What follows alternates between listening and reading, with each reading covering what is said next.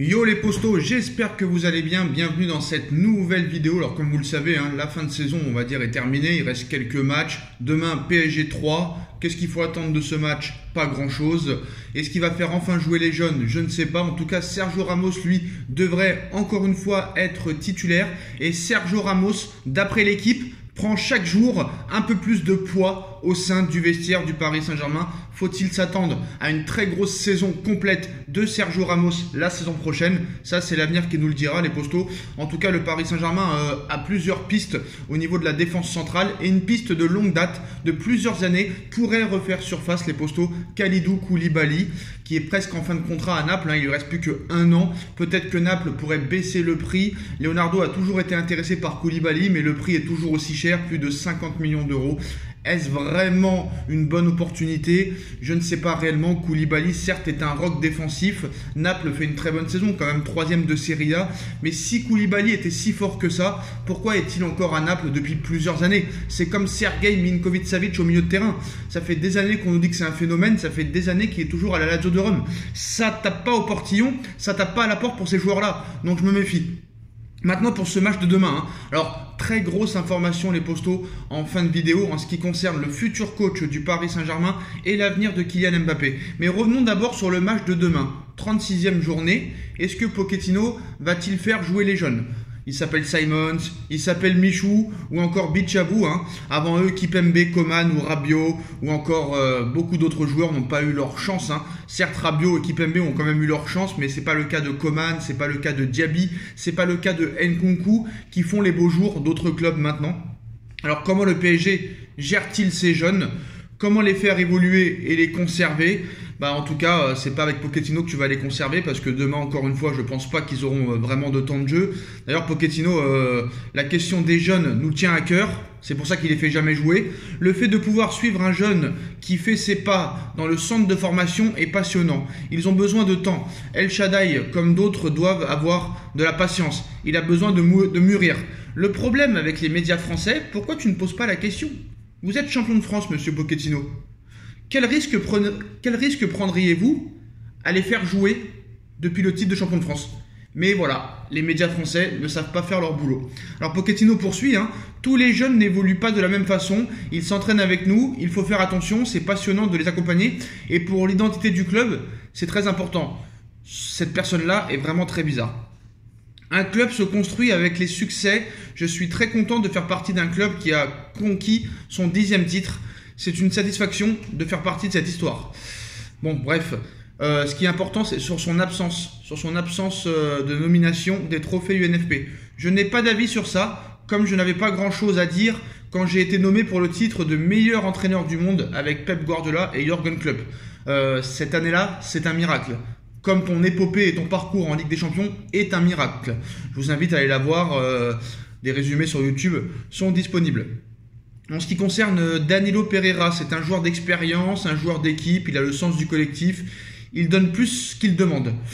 T'exagères quand même un petit peu. Alors sur le système à trois défenseurs, hein, c'est un système qui a besoin de développement, de travail, de temps, de rigueur et de discipline. On verra demain si on va poursuivre avec ce système ou non. Mais le gars, il parle comme s'il allait être encore coach du Paris Saint-Germain l'année prochaine. Ça fait peur. Honnêtement, ça fait peur. J'ai organisé un barbecue hier pour réunir le staff et les joueurs. C'est important de les remercier. Ah, c'est sûr que tu peux les remercier parce que nous, c'est sûr qu'on va pas te remercier. Alors demain, euh, Léo Messi euh, pourrait être forfait. Ce n'est pas encore officiel, mais voilà, une fois n'est pas coutume. L'OGC Nice devrait lever l'option d'achat de Marcin Boulka auprès du PSG, fixée à seulement 2 millions d'euros. Donc c'est presque cadeau pour l'OGC Nice. Hein. Ça prouve encore une fois que le Paris Saint-Germain ne sait pas vendre. En ce qui concerne Paul Pogba, le cas euh, Paul Pogba a été discuté au sein de Manchester City. Il n'y a pour autant euh, rien d'avancé en l'état actuel des choses. Le PSG est également présent dans la course à la signature du joueur de Manchester United qui sera libre le 30 juin prochain.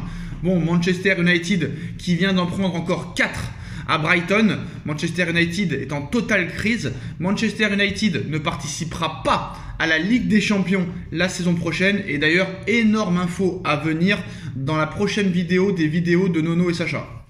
En ce qui concerne Aurélien Chouameni, L'AS Monaco n'acceptera pas moins de 70 millions d'euros cet été pour laisser partir Aurélien Chouameni. C'est une information Fabrizio Romano. Il est annoncé dans le viseur du Paris Saint-Germain, même s'il est souvent avancé qu'il préférait rejoindre un club étranger comme le Real Madrid, Chelsea ou encore Liverpool qui sont très intéressés. Alors, en ce qui concerne euh, Neymar, hein, qui a fait une petite interview, euh, mon plus grand rêve cette année est la Coupe du Monde. Bon, ça, on le savait. Je voulais vraiment gagner la Ligue des Champions avec le PSG, mais ce rêve a été reporté. J'espère que 2022 se terminera avec la Coupe du Monde. Personne n'aime être hué, surtout à la maison. C'est ennuyeux, c'est triste. Cela m'est déjà arrivé ici au PSG avec l'équipe nationale et j'étais triste.